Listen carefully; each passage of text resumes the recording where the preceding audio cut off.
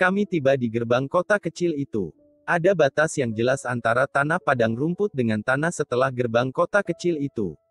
Aku menatapnya, sepertinya terbenam di dalam sana pondasi besar dan kokoh dari seluruh kota, menjadi lantainya. Lantas di atasnya dibangun rumah-rumah, bangunan-bangunan yang mirip kotak-kotak kubus. Entah di mana mereka meletakkan mesin canggih yang bisa membawa tempat ini berpindah-pindah. Beberapa penduduk menatap kami heran. Satu dua menunjuk. Mereka berseru dengan bahasa yang tidak kami pahami. Ali, kamu membawa alat penerjemah buatanmu. Ali mengangguk mengeluarkan alat itu dari ranselnya. Batozar mengenakannya. Aku, Sally juga segera mengaktifkan alat itu di telinga kami. Ali mengubah pakaiannya, menyerupai penduduk kota. Aku dan Sally ikut melakukannya. Penduduk kota ini menyukai mengenakan jubah-jubah panjang. Dengan warna-warna terang, kuning, merah, hijau. Anak-anak kecil berlarian, beberapa benda terbang melintas. Kami terus melangkah maju. Penduduk kota hanya sebentar memperhatikan, mereka kembali sibuk dengan aktivitas masing-masing. Mungkin meski jarang, mereka pernah melihat pendatang yang memasuki kota mereka dengan cara manual alias berjalan kaki. Jalan di atas kami, untuk lintasan benda terbang, ditandai dengan hologram. Bangunan kota ini nyaris sama kubus. Hanya ukurannya saja yang membedakan ada yang besar, ada yang kecil. Juga warnanya, berbeda-beda perak, coklat, abu-abu, warna-warna seperti itu. Tidak ada jendela dan pintu di kubus. Tepatnya, jendela dan pintu di bangunan kubus ini bisa muncul kapan pun, di mana pun penghuninya hendak melintas, membuka kemudian menutup lagi otomatis. Hanya bangunan publik yang pintunya terus terbuka. Toko-toko, aku mengenalinya.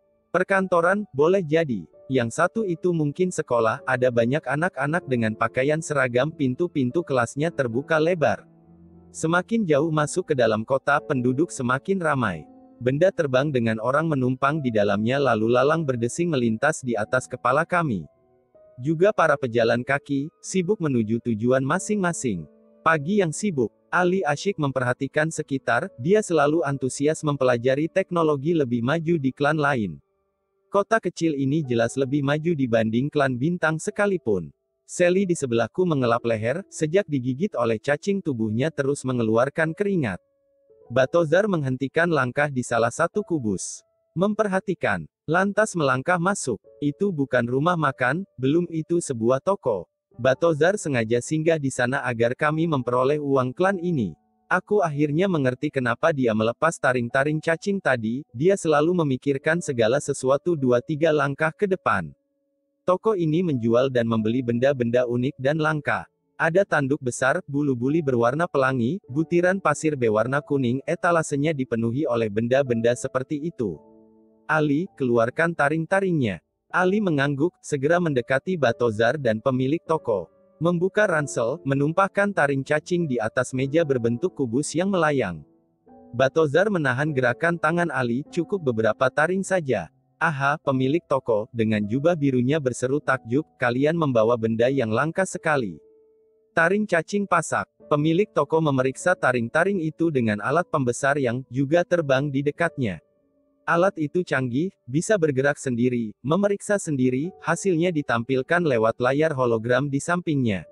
Aku memperhatikan gambar-gambar serta penjelasan yang tidak kupahami.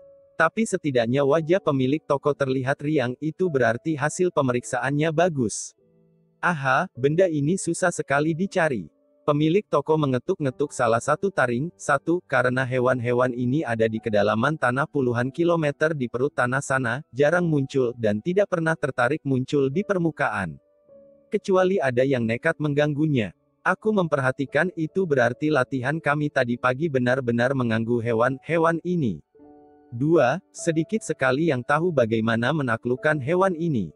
Konon, Hewan ini bisa membelah diri dengan cepat, potong tubuhnya, dia menjadi dua.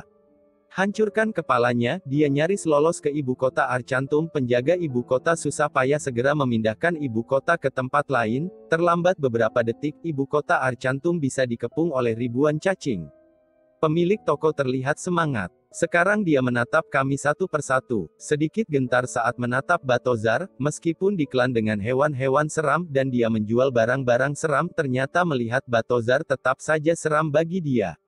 Kalian sepertinya bukan dari sini. Tebakanku, kalian adalah petualang antar klan. Batozar tidak menjawab. Tetap diam. Bagaimana kalian mendapatkan taring-taring ini? Aha, itu tentulah pertarungan yang hebat, aku bisa membayangkannya. Bagaimana kalian mengalahkannya, informasi itu akan, berapa tawaranmu? Batozar memotong kalimat pemilik toko, Batozar jelas tidak tertarik membahas soal itu. Pemilik toko memperbaiki jubahnya sejenak berhitung, 10.000 paks untuk setiap taringnya. Itu tawaran terbaikku. Tidak akan toko lain yang berani memasang harga setinggi itu. Setara berapa emas? Emas. Pemilik toko memberanikan diri menyelidik Batozar, aha kalian tentulah datang dari klan yang jauh sekali. Sudah lama sekali klan Komet Minor tidak menghitung uang dengan emas. Bahkan sejarahnya pun sudah hampir hilang. Aku tahu karena aku suka membaca sejarah. Ribuan tahun terakhir, klan Komet Minor beserta seluruh konstelasi sepakat menggunakan sistem mata uang tunggal digital yang disebut PAX. Dijaga dengan enkripsi super canggih, dengan nilai tetap tanpa mengenal inflasi, devaluasi, apalagi kurs turun naik dan kerumitan uang konvensional lainnya. Setara berapa emas? Batozar mendesak, dia tidak butuh penjelasan sejarah. Aha, tadi kamu bertanya setara berapa emas. Begini saja kuibaratkan dengan cara lain, 10.000 paks cukup untuk membuat kalian hidup kaya raya selama beberapa minggu ke depan. Membeli apa pun, membelanjakan apa pun. Sepakat, sepakat. Batozar menyerahkan enam taring-taring itu. Apakah kalian sudah punya HTP? Apa itu HTP? KTP maksudnya, aku bertanya, memastikan tidak salah dengar. Hologram tanda penduduk turis, petualang, siapa pun itu sebaiknya memiliki HTP. Alat itu berguna sebagai pengenal, menyimpan informasi, transaksi keuangan, semuanya lewat HTP. Baiklah, aku berikan kalian satu HTP untuk berempat. Pemilik toko mengetuk meja kubus terbang, sebuah hologram melesat menuju Ali, dia yang berdiri paling dekat. Layar hologram Ali menampilkan jumlah 60.000 paks. Keren. Ali menatap gadget baru di lengannya. Hologram itu akan redup dan tidak terlihat jika tidak diaktifkan. Seperti tidak ada di sana. Aha, senang bertransaksi dengan kalian. Sampai berjumpa. Pemilik toko melambaikan tangan saat kami meninggalkan bangunan kubus miliknya. Kami kembali ke jalanan kota yang sibuk. Aku menatap punggung Batozar yang melangkah di depan, jubah kusam miliknya terlihat kontras dengan jubah-jubah bagus penduduk kota. Sesekali wajah seram Batozar membuat penduduk melirik takut kepadanya. Seorang ibu bahkan menarik anaknya agar segera menyingkir. Batozar terlihat berbeda sekali dengan kebanyakan orang, termasuk di klan bulan tempatnya pernah dipenjara 200 tahun. Tapi orang-orang tidak tahu, jika Batozar menginginkannya, dia bisa menjadi orang paling hebat, paling berkuasa, hingga paling kaya di seluruh klan bulan. Lihatlah, Batozar mudah saja mendapatkan uang banyak bahkan di klan antah berantah.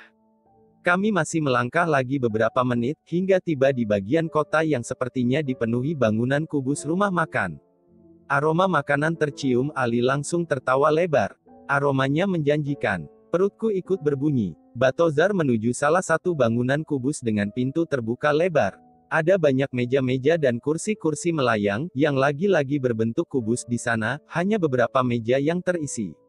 Rumah makan yang kami tuju lebih sepi. Batozar tidak menyukai keramaian. Kami berempat duduk mengelilingi salah satu meja melayang. Batozar memperhatikan sekitar, dia selalu awas. Bagaimana memesan makanannya? Aku berbisik kepada Ali. Tidak ada pelayan di rumah makan ini. Juga tidak ada petunjuk alat atau apalah yang bisa digunakan. Dasar norak kampungan. Ali nyengir menatapku. Eh, enak saja, aku hampir meninju lengan Ali. Ali mengetuk hologram di lengannya, proyeksi layar terbuka di depan kami. Hologram itu langsung pairing, tersambung dengan sistem rumah makan yang sedang kami kunjungi. Menu-menu bermunculan. Ali sedikit bingung memilih makanan, nama-nama makanan yang tidak kami kenali, tapi karena dia tidak punya ide sama sekali akan seperti apa makanan itu, Ali mengetuk sembarangan. Pesanan terkirim. Selesai. Setidaknya aroma masakannya tercium lezat.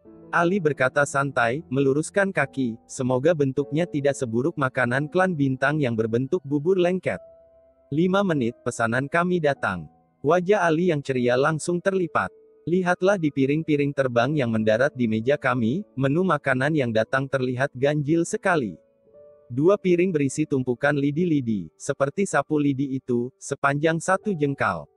Dua piring lagi berisi butiran klan, kelakuanmu justeru yang norak dan kampungan Ali. Batozar berkata santai, ikut meraih satu lidi. Wajah Ali terlihat memerah. Master B mengolok-oloknya. Sebaliknya, aku menahan tawa. Rasakan dibilang norak. Sally yang demam ikut menonton, meringis tersenyum. Apa pun makanan yang tersedia, tinggal kamu makan, bukan sibuk dikomentari. Apalagi sampai sibuk kamu foto-foto. Itu norak sekali seperti penduduk klan kalian yang suka pamer sedang makan apa. Batozar mengabaikan wajah Ali, dia santai mulai mengunyah. Siap, Master B. Ali menjawab. Aku ikut meraih lidi-lidi itu. Tidak buruk juga. Lidi-lidi ini terasa lezat, aromanya tidak menipu. Seperti roti atau kue di klan kami, lidi-lidi ini lebih enak dibanding ulat yang makan kemarin malam. Soal bentuknya yang seperti lidi, mungkin penduduk klan ini sudah lama meninggalkan kerumitan bentuk. Mereka lebih menyukai bentuk simpel seperti kubus kotak. Bangunan mereka simpel, makanan pun simpel, yang penting lezat dan bergizi. Butiran-butiran pasir di piring lainnya juga tidak kalah lezatnya, seperti kue Black Forest yang sedang dibuat mama.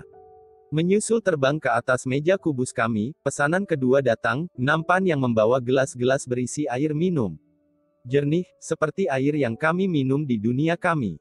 Tapi rasanya berbeda-beda, sesuai entah pesanan apa yang dimasukkan Ali tadi. Milikku mirip seperti jus buah. Aku tidak keberatan. Sally bilang minumannya seperti teh hangat. Ali tidak menjawab, dia masih sebal dibilang norak oleh Batozar.